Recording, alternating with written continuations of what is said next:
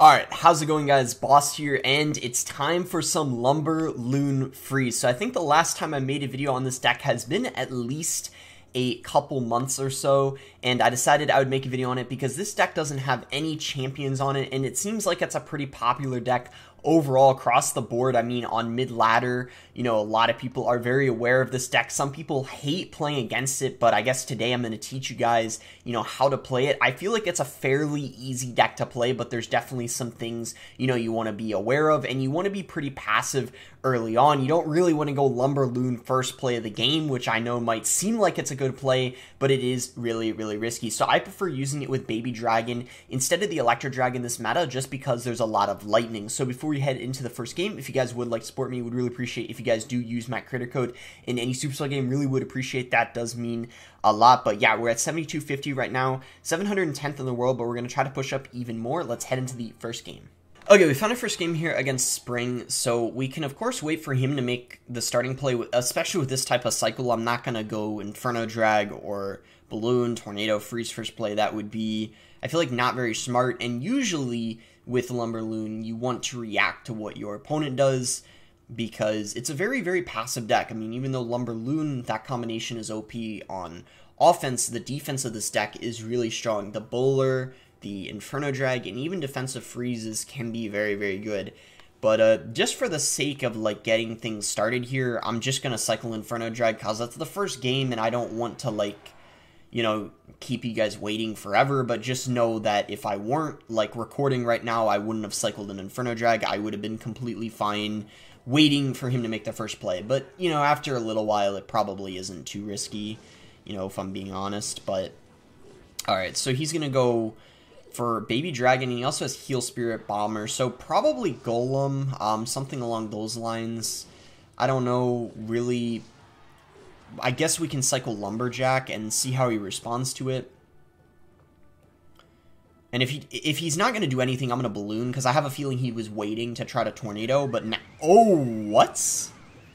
Misclick. Did you guys see that? I think what happened is he had the tornado selected, but then what happened is he wanted to drop his E drag, but um, oh my god, we we already took the whole tower. That's insane.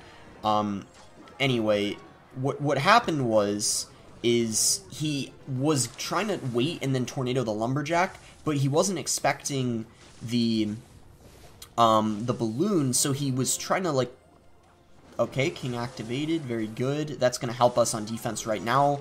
Freeze coming in, and there's no way this is going to take the tower. It's going to deal a lot of damage to it, but we're for sure going to save the tower. And of course, a great situation for us because we took his tower, our tower stays alive, and even though it has only a little bit of health, I'm pretty confident we can defend, because I think he's using Golem, and we have great answers to the Golem. The Inferno Drag, the Bowler are very, very good against it, and I don't even know if he's going to be able to get a Golem push off at this point. It's going to be very tricky for him, and that E-Drag is just kind of going off into the other lane, although now it came back. But there we go, Tornado coming in to help out, and yeah, we should be fine yeah, I don't think he can do anything. I mean, another Inferno Drag coming in. So, yeah, this is this was just a great start to this game, to be honest. We got in a really good situation, and luckily he didn't end up taking our tower. I'm just pressuring right now, so then he can't afford a golem. And honestly, this is, I think, a pretty good play, because even if he... Um, okay, yeah, I was gonna say, like, takes our tower, we just got two hits on with the balloon on the other tower. So yeah, it, it's pretty much over at this point. I, I just wanted to be safe because I didn't want to like over defend and then he still takes my tower anyway. I'm pretty sure we can go Lumber Loon in the pocket because his Tornado is out of cycle at the moment. He needs to play, I think, even one more card still, but let's see. Uh, yeah, he's not back to it. That's going to be GG pretty good matchup, I would say. Generally, this deck does pretty good against Golem. He wasn't even able to play the Golem the whole match because he knew if he did, I would just pressure him hard in the other lane. So, yeah, it was just really awkward for him the whole time. Let's head into the uh, second match. Alright, so we found our second game here. Uh, apparently, this guy has a YouTube too. And his clan name is Retire. So, is he retiring soon? I don't I don't know. I'm, I'm kind of confused. Uh, but Hog coming down, so Hog, um, okay, I guess that's a decent sign, because generally I think, at least usually, I mean, I guess Hog Queen, of course, can still beat this deck just because the Queen is OP, but, Uh, okay, if he's doing that, I'm actually lumber looting in the opposite lane, because Musk is generally their only air counter. So with that in mind, I'm taking my chances here. Worst case scenario, he defends it, but he has to spend, like, a lot of elixir. Um, sadly, I don't have... I don't know how I didn't have my tornado in cycle, but we did get back to it, so we do get the king activated. Um, alright, I'm gonna have to take a musk shot, because I am not overcommitting just to... Like, I am not spending 4 elixir just to, like, just to prevent one musketeer shot. That is not worth it. Especially in single elixir, that, that just would not be the play. Alright, so we can Inferno Drag into the Ice Golem, and then I guess set up a Bowler. So some 2.6 players are actually using Earthquake instead of the Fireball, which would be very good if that's the case, because then he literally has only Musketeer as his only balloon counter. That and I guess the cannon is also, you know, a really solid counter as well, now that I think about it. But, you know, it's it's really the only direct counter, I guess that's what I'm saying. So I, I am going to go ahead and balloon here because we're going to have the Lumberjack helping out. Uh, it's it's probably going to be a pretty easy defense for him, but I mean, I think either way, it's it's fine to apply some pressure just so he has to, you know, be spending elixir on defense, can't focus on offense only, which he's obviously going to want to do, try to get as much damage as he can in, you know, single elixir, because it's going to be more difficult in double and triple for him, because we're going to be able to, you know, keep up with his cycle easier, have Tornado in rotation for the Hog more often, or just stack things on defense, you know, like Bowlers, Inferno Drags. So yeah, um, he hasn't used his spell yet. I'm starting to think he has an Earthquake just based off of uh, how he's playing, and yeah, he is going to have an Earthquake, so definitely I would say a pretty good matchup for me now that I know he's got Earthquake, because I feel like we can... It, it's pretty easy for us to break through. Really nice Tornado, by the way, pulling that Musk into the other lane. Um, so let's see what happens here. Okay, he has to go Musk all the way um, on the right. Oh, wow, yeah, he had to spend so much Elixir. That was crazy. I'm gonna freeze. I, I don't know if we're gonna... Okay, nah, we're not, sadly, but we still forced him to Ice Golem, but yeah, that was unfortunate. I was really hoping we could get the Inferno Drag on the tower. Man, the cannons are putting in work, I have to say. Like, I'm shocked we haven't gotten... I think we haven't gotten a single balloon hit yet. This is a great freeze, though. We're able to hit the tower, the cannon, and the Musk. Lumberjack coming in, too. This is getting scary for him. And yeah, that's going to be it. I don't know what that hog was. All right, able to get the win. Really, really grateful he had the Earthquake and not the Fireball, because if he had Fireball, he would have had a way easier time defending that, and he might have even won. I mean, he probably would have, because the Earthquake does nothing in that matchup at all. Okay, so we're in our third game here. Uh, let's see what our starting hand's looking like. Uh, kind of interesting, two spells and then Inferno Drag Bowler. So yeah, kind of like the previous games. Um, I'm just going to wait a little bit just to see if this guy wants to do anything. And yeah, he is to, in fact, go for a Dark Prince. So we'll Bowler. Um, I don't yet know what this is, because a lot of decks have Dark... Okay, Sparky. Well, hopefully he doesn't have Ewiz. That's kind of my hope. And Sparky's kind of the one matchup where you kind of wish you had the Electro Drag, so that's kind of unfortunate that I don't, and I have, you know, Baby Drag, but uh, I, I, guess we'll do our best here. Let's just see what he wants to do. Um, okay, we're definitely going to have to freeze this, but... Uh, I, I don't know, guys. This is, like, not very good.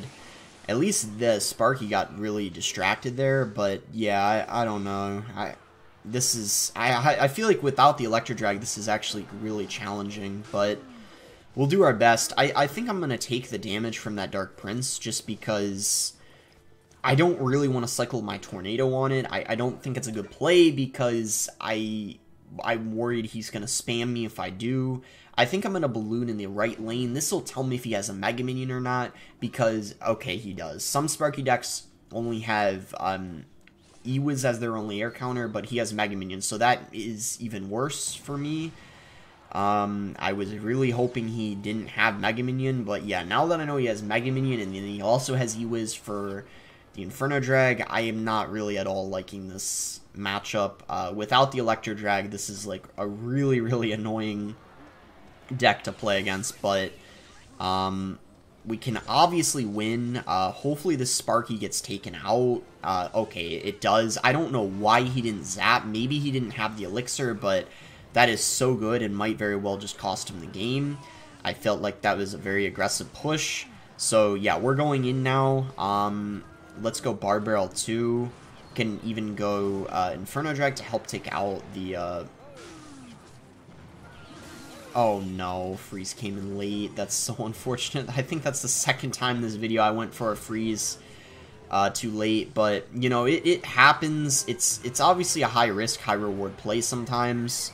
You know, you're not always going to get great freezes, but it really sucks when that happens, and you obviously wish you never dropped it in the first place, but, you know, it happens, but yeah, that, that 4 elixir would have been really useful to have on defense right there, but it's alright, let's try not to, you know, worry about it too much. Uh, we're, we're, of course, very much in this game still, in fact, um, I, I think once we defend this, we're going to be in a, I think, like, pretty good situation. I, I'm just going to ignore the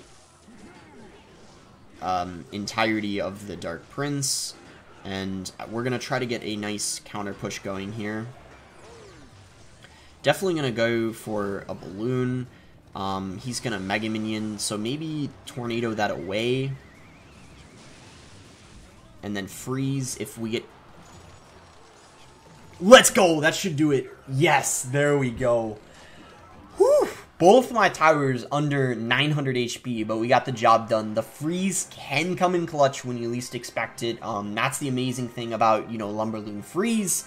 Um, yes, you know, that of course it can be difficult to get to the tower, but then sometimes when you do, it just takes one push. Just one good balloon freeze is all it takes, and you can, you know, just make really nice comebacks like that, or just, I don't know, have really great finishes. And of course, I'm sure a lot of you guys know that because if you're losing to Lumberloon, yeah, and that's happened to me many times too, where like I lose when I'm like least expecting it and I have the game like under control. Yeah, it it's frustrating for the opponent, I imagine, but luckily I'm the one using it today. All right, so looks like it's going to be some sort of log bait deck. Not sure which one. Um, maybe it isn't even log bait, but because his clan says log baiter, I I would be pretty stupid to not assume that it's log bait. Um, and this, uh, I don't know. I don't. Log bait is pretty challenging. I'm, I'm not gonna, like, even try to deny that because the the problem is, um, if if he has Prince especially, this is like really hard because you don't have a good answer to the Prince. Uh, yeah, alright. I'll try my best, but yeah, th this... And then the rocket, too. Oh, boy. Oh, boy. Oh, no. I... I can't defend that. Yeah, that, uh... I don't know. I don't know if I even want to bother showing this game, because I don't know if there's much you can learn from it, but... I think I just will. Uh, this will show you what a hard counter is. Yeah, I mean, not really anything I can do. This is like and I'm not lying. Um, I truly think this is like one of probably the worst matchups um, that you could get. Yeah, because you, yeah, you have Barb Barrel, but the problem is your Tornado doesn't get a lot of value in the matchup. They have pretty much their whole deck counters the balloon pretty well. You don't have a counter to the Prince. Um, Princess, you can't kill. Same with the Dark Goblin, you really have to like overcommit every time just to kill it, like NATO it in, and then Bar. Uh, yeah, really hard matchup. So no shame in losing that. That is way worse than Logbait Tesla or Logbait Inferno because of the Prince, the Rascals, uh, really really annoying cards to play against. So yeah, that's that'll show you. That's like what a hard counter is basically. All right, so let's try to bounce back after that. Um, yeah, like I said, there, there's really not too much I I could do um, in that type of matchup. So I'm sure those of you who run Lumberloon also hate playing against that deck because really you you have to just pray they make a mistake um, in that kind of matchup. And I knew I, I don't normally give up, but I mean it it I mean quite frankly it was over, and I I didn't want to like waste time. I yeah I knew that was it. Um, we could just Inferno drag.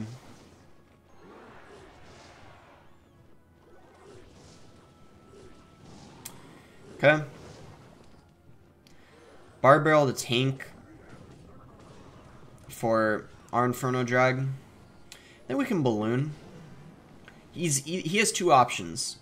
Ignore what's in the left and just focus on offense or defend it, but then if he defends it, I don't know if he's... Okay, he just messed up. That flying machine, I don't know how it died, but the fact that it died makes this defense so much easier. Because imagine if that flying machine was in the other lane, I would have had to overcommit on top of it. That is so good. I couldn't have asked for a better outcome. Um, okay, Inferno Drag comes in. We will have to overcommit defending here. I mean, we will have to Tornado with this, but overall, I'm completely fine with how, yeah, single Elixir went here.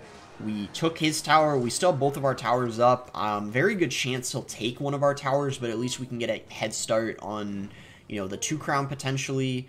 Maybe when he goes lava in the back, that's when I'll send in, you know, a lumber loon and go in on offense. I think for now, just Barb Barrel is fine.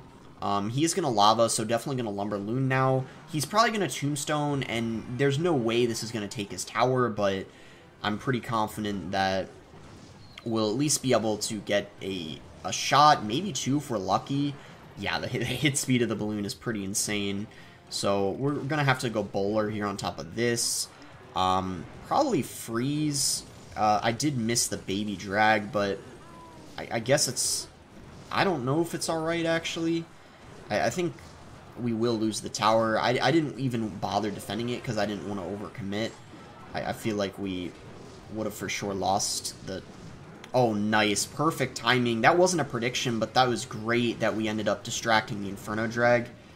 Makes things really helpful for us now that we don't have to worry about the Inferno Drag for, like, you know, a second. Okay, so Tornado coming in. Um, that should be GG. Yeah, really nice win. We got a little lucky because if that Inferno Drag stayed where it was at, he would have had a really good chance of, um, you know, taking the tower and then look at our king tower really low. So yeah, I, I, I actually think that was a pretty good matchup for me. So I would say like pretty well played on his end for making it close. Um, that definitely was not a perfect game for me. reason why I say that's a good matchup for me is because he doesn't have her set to the Inferno Drag. Um, I mean, obviously, a lot of his cards can get a lot of value because I don't have a direct spell for them, like the Flying Machine and, well, I guess even his Inferno Drag, I have to freeze and you know, but still, um, pretty good for me, and, you know, he made it close, so yeah, that was a great game. We'll, uh, probably play one more game, or maybe two, if this next one's, uh, really quick, but we'll see. Alright, so, let's see here, we got Barb Barrel, Baby, and Balloon. Um... I think, yeah, you know, again, we can just wait, but if he's not... Okay, bowler, so maybe a mirror match could be, but it could also be graveyard. You know, there's lots of giant graveyard with bowler right now, or even just splash yard with freeze, right? Um, okay, so bats coming in. I'm gonna have to freeze that. That's a really. Oh wow. Um, I didn't think that freeze was a good play, but it looks like it's gonna end up working out because he decided to graveyard for whatever reason at like the same time. Now, I don't know if this balloon is a very good play, but his bats are out of cycle and his Mega Minion. So, I feel like it's a pretty good play. I don't know. Do we just... Uh, what? I was not expecting those barbs other lane. Wow. So he's going to take our tower, no doubt. Uh, freezing would be pointless, because if I froze... Um, I think he's going to play bats. I'm going to predict them that, I guess that wasn't a prediction because I did it after, but... Um, okay, death damage from a balloon takes his towers, so we should be probably okay in terms of like taking the right tower, but yeah, we're not in an amazing situation right now. So let's see what we can do here. Maybe I go Lumber Loon in the opposite lane. If he plays something else in front of that bowler, that would be great, and I'm definitely going to. I think I'm just going to do it. Um, yeah, why not? I mean, and then maybe freeze even. Because he doesn't seem like he has a lot of air counters. So yeah, I'm going to freeze. He probably will take our tower, or have a very good chance of taking it, but... Um, that was a good tornado, though, at least. Let's see what happens here. Yeah, we will be able to save our... Well, like, I mean, we saved the tower, but it's like, did I really? Because it's basically dead. I don't know. Well, um... Lumberjack...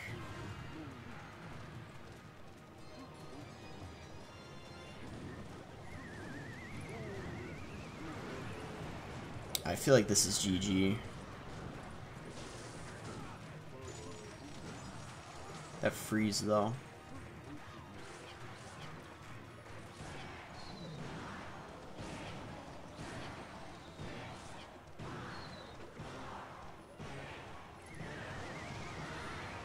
Oh!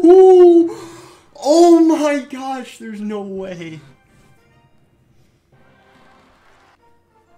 Ooh. That's crazy. Alright. Well, I think... I don't know about you guys, but I think we're going to end off of that one. Uh, that was just a great game to end off of. Whew. I did not expect to win that. Alright. Make sure, like, if you guys did end up enjoying it. Um, that, that... That game, I was so convinced I was going to lose. Um... I got like all quiet, like focusing, and man, what an ending. Um, I think he might have even had the Zappin cycle, but he just got it down like a tenth of a second too late. I don't know, and it didn't come down in time. Um, but yeah, subscribe if you guys aren't subscribed already. That that last game was just crazy. Um, so those of you who stuck to the end of the video, I guess you guys got to enjoy that. That was insane. All right, thanks again. Until next time, guys.